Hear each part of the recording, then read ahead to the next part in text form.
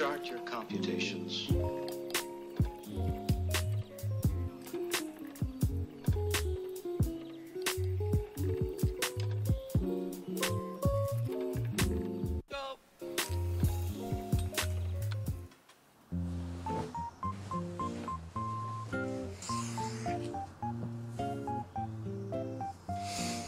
Good morning. So it's been a minute since I've moved in, and um, I don't feel like I'm fully satisfied with how my room is right now.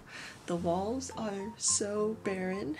If you know from my last place, I really like kind of more maximalist types of decor, and I really like just filling up a lot of the space on the walls just to feel more like cozy. So I think today's the day where I finally finish decorating my room and it is like 8 a.m. right now and I am pumped and ready to go. Except I'm kind of tired because I stayed up last night. but first, I need some food. Let's go. Let me kind of go over everything that I want to get done today.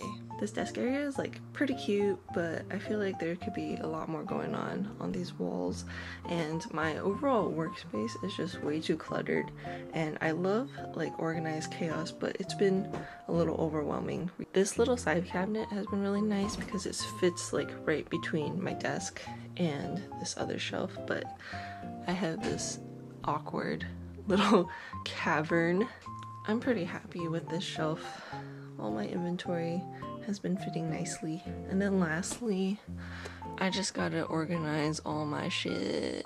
All my pens and art supplies and color pencils and all that just need a little bit of TLC.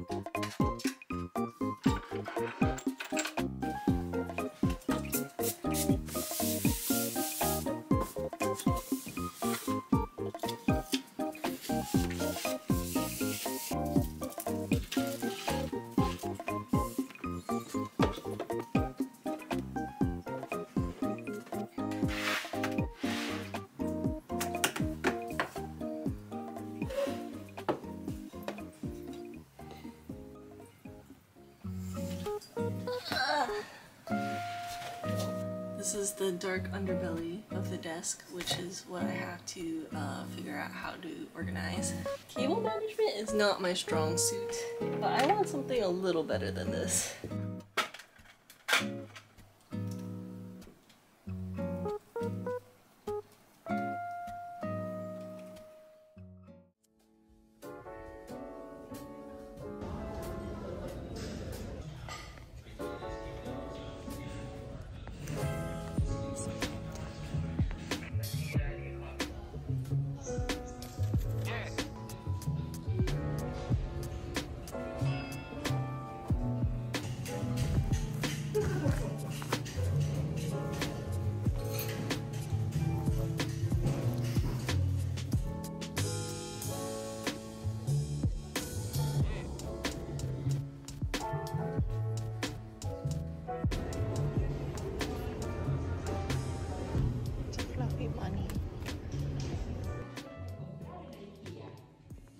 I went out and made a little trip to Ikea and I got some small things that I feel like would really tie the place in together.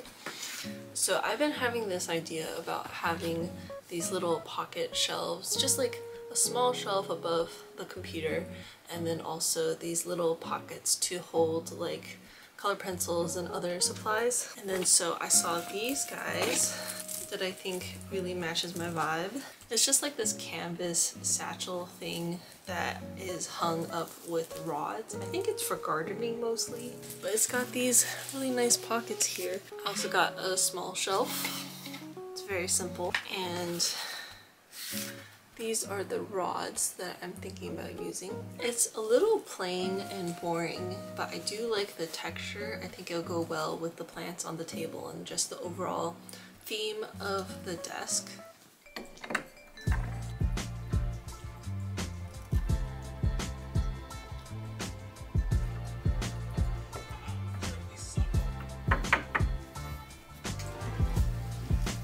Dang, I've got a lot of art to go through. Ever since the move, I kept all the art that was on my old studio wall in this luggage and it's been under my bed for months now. Admittedly, I haven't really organized everything since the move, so I'm gonna be doing more of that today. yeah, but there's just a lot of stationery and stickers and prints that I've collected over the years, and I'm kind of excited to be just like going through it all again.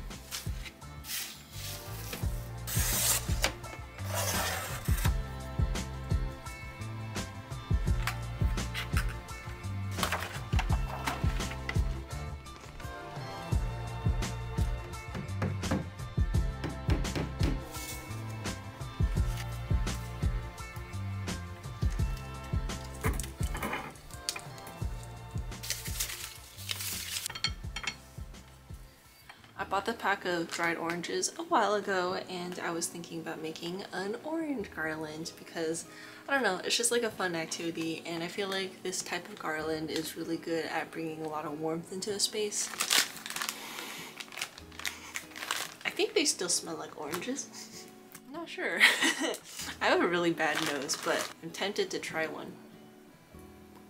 Ooh, that tastes good. and like all things, I'm going to wing it.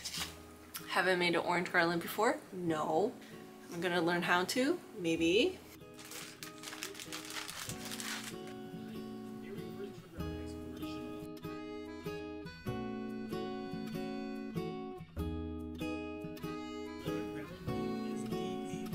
Bling. You like the orange?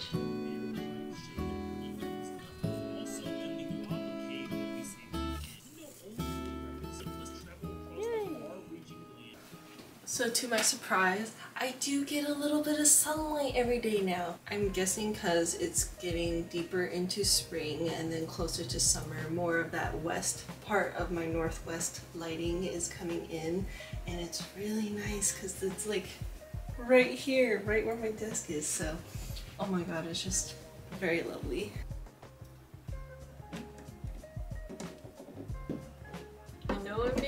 Dumb right now because I'm doing this right over my computer and I'm also, you know, making the decision to have a little shelf over my computer, but I think it's worth it.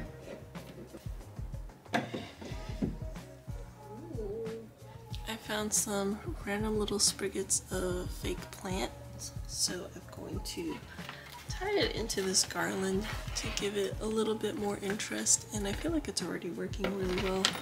I even have this fake flower that just popped off of the stem. They'll add a lot more variety into this garland.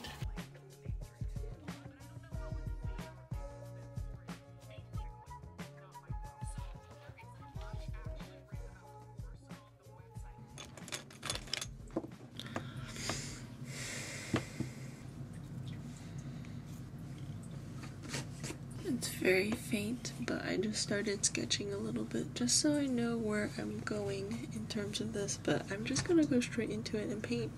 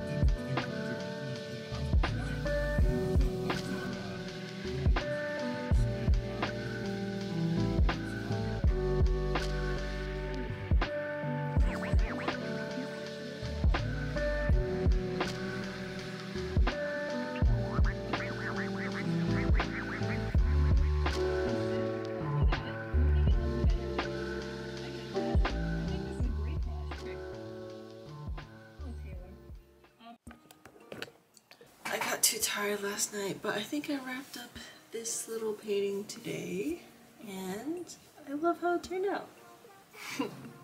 I think the only thing that I want to do to just wrap up this project is kind of make them stand out as their own thing instead of this like one full collage. So I'm going to block out colors on the edges of the pockets.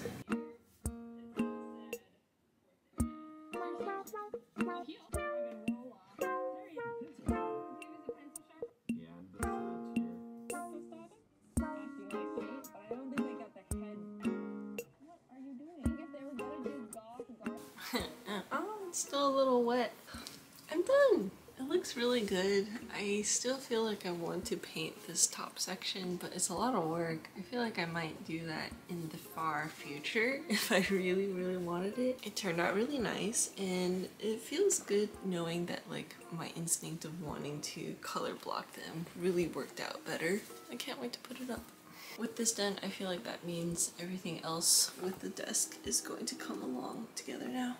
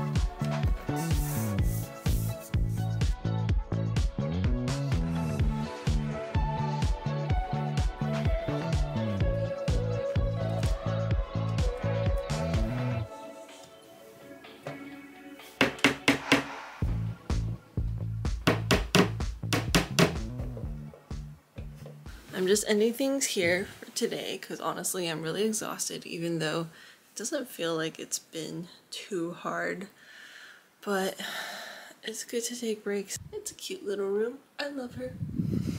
But I'll get to cleaning after a good old nap and I'll see you with the final results.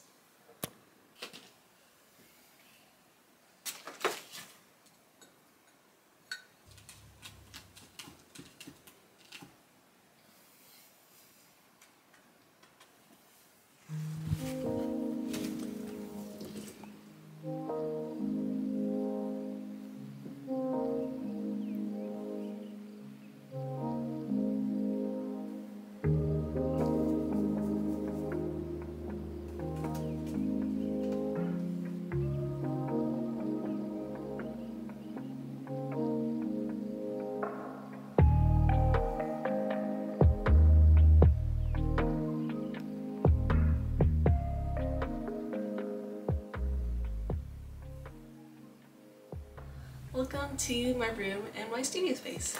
So after one more day of finalizing and organizing the room, this is the final product and I think it turned out really nice. So to start off the brief tour, this is the main space of the room. It's my desk space. And as you can see, I think I went a little ham on the um, amount of stuff in this area but I feel like it works for me and I feel like it's really important to be in a rather creative space while you're working at your desk. So it feels really good to be surrounded by prints and art from artists that I admire and you know some artwork that I've done myself that I'm proud of.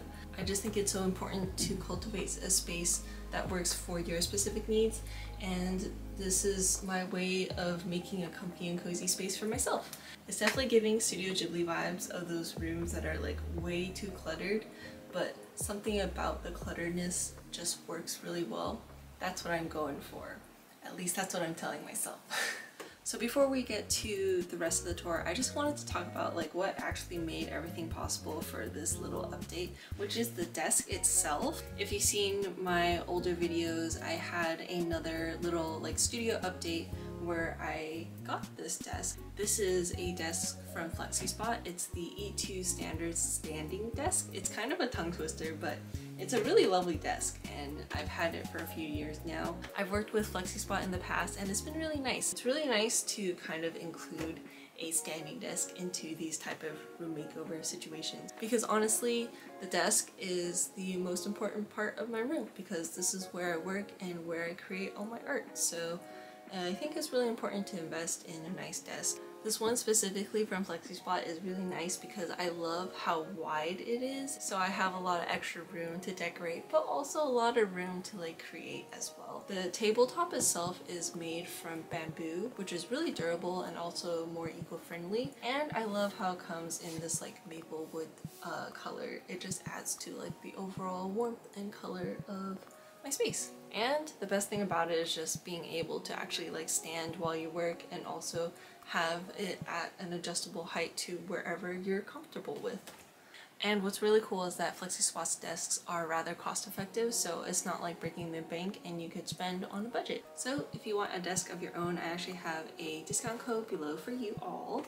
It's a 30 day risk free return policy, so I honestly give it a try. Thanks so much to FlexiSpot for sponsoring as always, and now we're gonna get on to the rest of the tour. I know this is a little weirder and harder to film this angle because everything's just kind of crammed into one corner of my room, but here are a bunch of my plants and also a bunch of decor on the wall. I've got a bunch of prints up here and I also have a lovely beret because I think it goes well with like the things that I like to put on my wall and it also goes well with this other IKEA cloud lamp that I have I actually just put up this Rilakkuma decal on the lamp, so it doesn't look the most smooth when you're really up close, but from far away it looks pretty seamless. Down here I have a lot of small decor, just really tiny things that really works out well and kind of adds to that like organized clutter aesthetic. On the side I have washi tape dismenters for easy access and I also just really like to see them stuck on like this. Over here I've got some lovely ceramic pieces and also some fake plants. And over here I have the finished garland as well as more fake plants and I've settled with these plushies to go on top of the shelf along with a vining silver pothos. And then making my way down trailing with the silver pothos is the rest of my plants here. And I've decided to put them all near me, near my desk, because just want to be around my plants more. Plus, I really love to view my terrariums in full view, so it's perfect to have them like right next to me. The reason why I'm able to have this workout, even though they're all kind of crammed in this dark corner, is that I have this one Soltech lamp. So this is what it looks like for most of the day, and I also have another lamp there for like coverage of the entire room, and yeah. That is my desk. This is how the Ikea pouch turned out and I gotta say with it filled up with materials it looks really nice and I'm really glad that I took on a project like that. Let me introduce you to the rest of the room. Next to the desk is this area where I have print stuff, my printer, and a lot of art supplies in this drawer. drawer. A lot of these drawers are rather full with stuff. It's mostly like paper, product stickers, and like um, mailing stuff. Here I have my very old dinosaur printer, which is the Epson Artisan 1430 printer.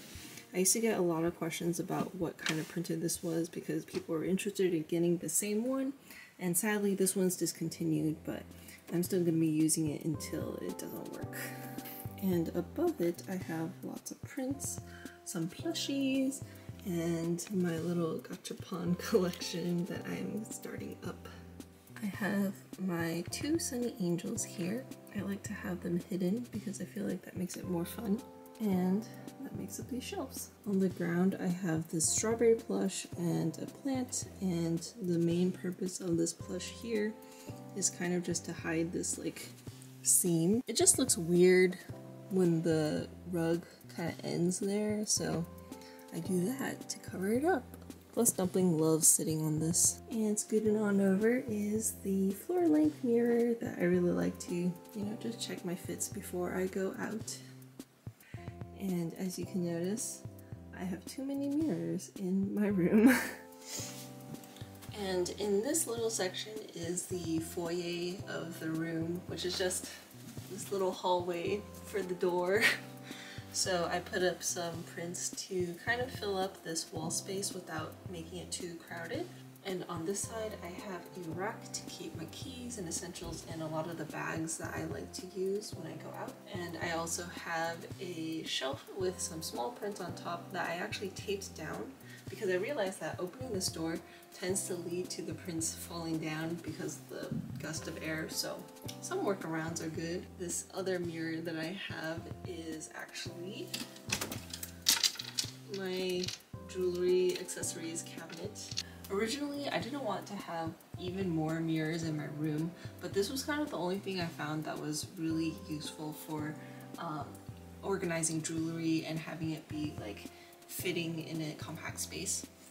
And then on this wall over here, I have my garden shelf with all of my shop inventory and then also my rolling cart with more of my shop inventory and then the rest of the wall is just the closet. Rainy sits on top here and I feel like it's a nice place for her where she kind of rules from above. yeah, I feel like this part is rather self-explanatory.